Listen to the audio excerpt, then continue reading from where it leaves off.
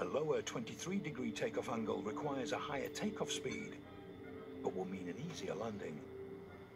What speed do I need to be hitting? Eight foot in height, 96 inches, which is 2.4 meters. Bloody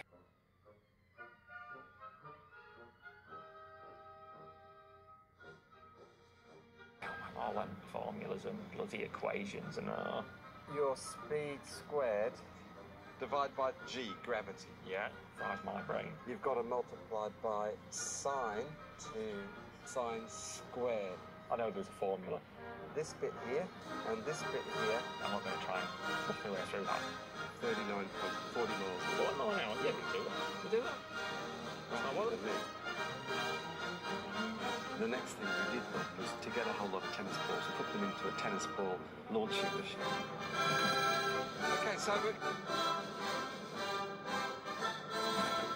Okay, so we're,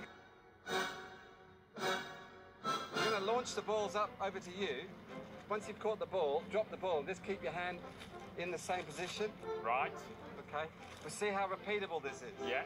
What happens when you go from the lovely simple equations for a tennis ball in a vacuum?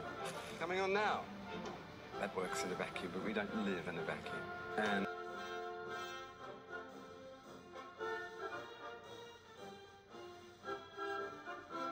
Manages to nick a German motorbike, and now he's got to find a way out of Germany. Steve McQueen's got to jump over two fences. Jumps over the first fence, realises